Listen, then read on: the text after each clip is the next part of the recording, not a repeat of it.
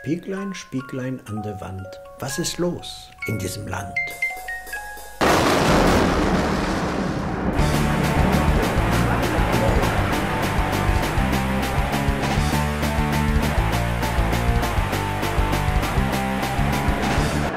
Also das mit der Obergrenze ist einer der größten Bluffs der Nachkriegszeit, aber auch dieser Bluff liegt in der Tradition der deutschen Geschichte oder besser gesagt des deutschen Euphemismus. Die Rede war nicht davon im Dritten Reich, dass man sechs Millionen Juden umbringt. Es hieß die Endlösung der Judenfrage. Vielleicht darf ich noch daran erinnern, die Mauer, die Deutschland teilte und an der Hunderte von Menschen ums Leben gekommen sind, die hieß antifaschistischer Schutzwall. Also Euphemismus ist sozusagen der Meister aus Deutschland. Und der jetzige Euphemismus ist das Wort Obergrenze. Und natürlich gibt es eine Obergrenze, wir haben in den Kommunen eine Obergrenze der Leistungsfähigkeit. Und nebenan und nebenbei und zwischendurch, sozusagen in den Ritzen des Systems, gibt es ständig neue Skandale, die aufscheinen und sofort wieder verschwinden, obwohl sie es verdienen würden, ein bisschen länger beachtet zu werden. Ja, die Leute im Osten haben ein anderes Gespür dafür. Die können sich noch an die Jubelberichte und die Jubeltitelseiten des neuen Deutschland erinnern dass der Fünfjahresplan übertroffen wurde. Und jeder, der das gelesen hat, weiß, was es bedeutete. Nicht? Äh, der Mangel ist minimal kleiner geworden, als er beim letzten Fünfjahresplan war. Und es fehlten vielleicht 100.000 Hüte.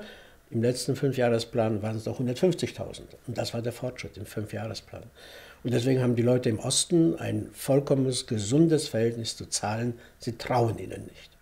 Und es gibt eine faktische Einwanderung,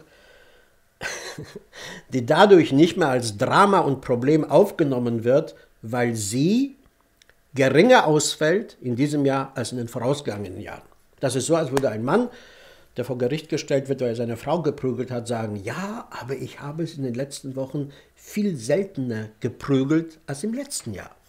Ein sehr bekannter Journalist hat kürzlich in einem Text geschrieben, die Zuwanderung tröpfelt so vor sich hin. Also das Tröpfeln sieht so aus, dass es ca. 10.000 bis 15.000 jeden Monat sind. Natürlich weit weniger als im Herbst 2015 und im Jahre 2016, aber 10.000 bis 15.000 Monat, das gibt im Jahr ungefähr 180.000 Zuwanderer. Die Stadt, eine Stadt von der Größe Regensburg und die muss man dann erstmal bauen.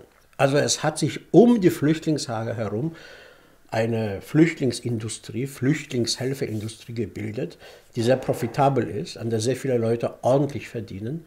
Und deswegen geht es, glaube ich, auch weiter. Und alles unter dem Begriff der Obergrenze, die es nicht gibt. Ich bin auf eine gewisse Weise davon fasziniert. Das ist unglaublich.